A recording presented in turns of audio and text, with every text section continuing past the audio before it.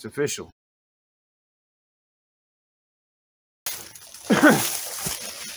yeah, the, uh, so that's fantastic. I just checked out the video and my head's cut off. That's wonderful. So that makes for a very entertaining video for everybody to watch, I'm sure. Forgive me on that. I hope you still stuck around for what I had to say and leave your opinions below. Anyway, hey guys, how you doing today? I hope everybody's doing wonderful. I just want to touch base on this new DJI band here in the uh, United States which of course I think is ridiculous and horrible, but that's only on the federal level. And I say only because it doesn't pertain to us as consumers. And whether you be a recreational or a Part 107 drone pilot, doesn't affect us yet. Any federal agency or anybody that gets federal aid cannot fly DJI drones in the United States anymore.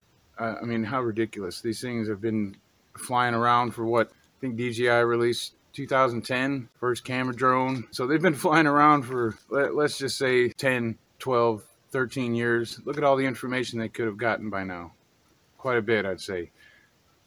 But, you know, uh, uh, maybe they know more than we do. DJI is the most reputable, respected, number one drone company, the most technologically advanced drone company in the world. They're just number one. They're the best. And that's why I, myself, get it out of here, I fly, of course, a DJI, a DJI Mavic 2 Pro. It's an amazing machine, I tell you what. I love this thing. It's it's just an amazing piece of machinery. It's absolutely wonderful. And these things save so many people's lives in the United States. Our first responders use DJI drones. Uh, I mean, it's like the number one go-to drone for any first responders it just amazes me. I would love to know your opinions. Please leave your comments below and tell me if you agree with me, if you disagree, or any other opinion you might have on this. It's just ridiculous. I mean, what's next? So, so many things are being taken away from us and banned, and you can't do this, can't do that. I'm almost 50 years old, and I've seen a lot in my day already. That's just, the world's gone to, you know, the world's gone to shit. Uh, and America America needs some work. I'm telling you. DJI, oh, that's another thing. DJI has also had so many audits by private companies, uh, the U.S. government, and they've never found anything wrong with DJI. Never found any leaked information or leaked data to the Chinese government. I, I mean, there's so many things made in China. This phone that I'm recording on right now is made in China. Maybe it's spying on us. Who knows? There's so many things that are made in China. What are we going to ban everything? we'll have to ban all our phones. These things have been around for a lot longer than drones. There's so many things made in China. So uh, let me know what you think about this. I think it's horrible. I can kind of understand when it comes to the to infiltrate federal secrets or the government secrets, um, just because it's a Chinese-based company. That goes for all Chinese-based drone companies. They're all banned federally in the United States now. The only major drone maker in the United States is Skydio, and they've kind of cornered the market on this uh, federal and the commercialization of the drones, you know, like uh, first responders, because they went out of the um, consumer drone market a long time ago. So that kind of, they just can't even compete with DJI anyway. I don't think anybody can. Nobody can. Come on, let's be real.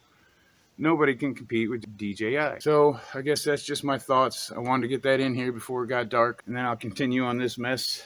Let me know what you think. I'd really love to know because it's just ridiculous to me. And uh, oh, some other this is unscripted, by the way, so forgive me. Think the only thing I wrote down here was uh, Brendan Groves, Vice President of Regulatory and Policy Affairs Skydio. Now, he's an, an, American war hero. He's been in the military. I can't remember what branch right now, so forgive me on that. Got an excellent record with the military and America. And, well, he's part of Skydio. He's like the vice president, so uh, he's kind of cornered the commercial drone market now that DJI is banned there's something just funny about that, and I'll, I'll, definitely do some more research into this. I just didn't have time today because I had to get out here and do stuff. But um, Russ over at 51 Drones, he's got a good comprehensive video about it. Uh, check him out. Make sure to go check him out. But uh, DJI, number one company, the best drone in the world, and banned. What's next, people? What is next? I don't even want to know. All right, let me get in here. I want to touch base on something else here. Where we at? Before this video gets 23 minutes like the last one. I will be posting that part two. Let's see what we got here. A couple things here. I'm just going to put it on screen and let you all read it. Maybe I'll read along with you. Website's pull up here giving us information on this ban. And you know who signed this bill? Mr. Sleepy Joe. This guy right here, yeah. Yeah, he's the one who said, yeah, let's go for it. Most of these people have probably never even seen a drone, let alone fly one. And they're just going by what hearsay. It's ridiculous. And I've got a lot more topics on things like that. Like the, uh, let's see, the remote ID. That's definitely one of them. But that's a whole other video.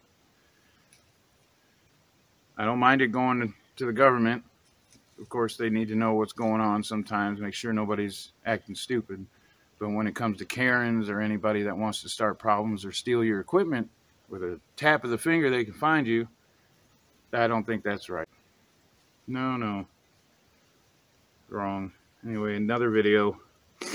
Well, here's some stuff here I will definitely get up on the screen here. DJI calls concerns completely unfounded.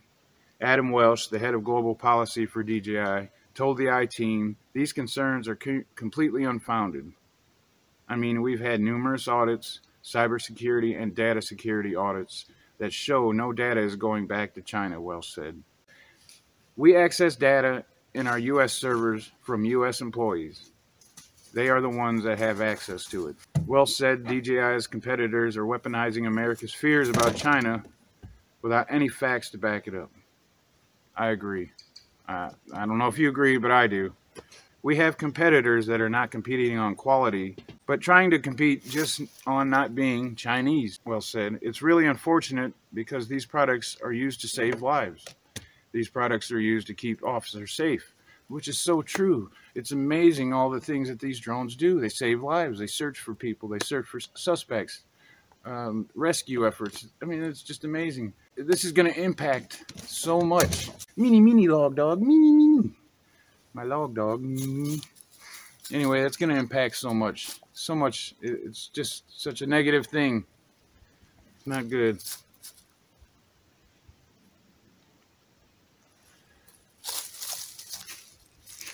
Welsh categorically states that DJI has never turned over data from a U.S. drone to the Chinese government.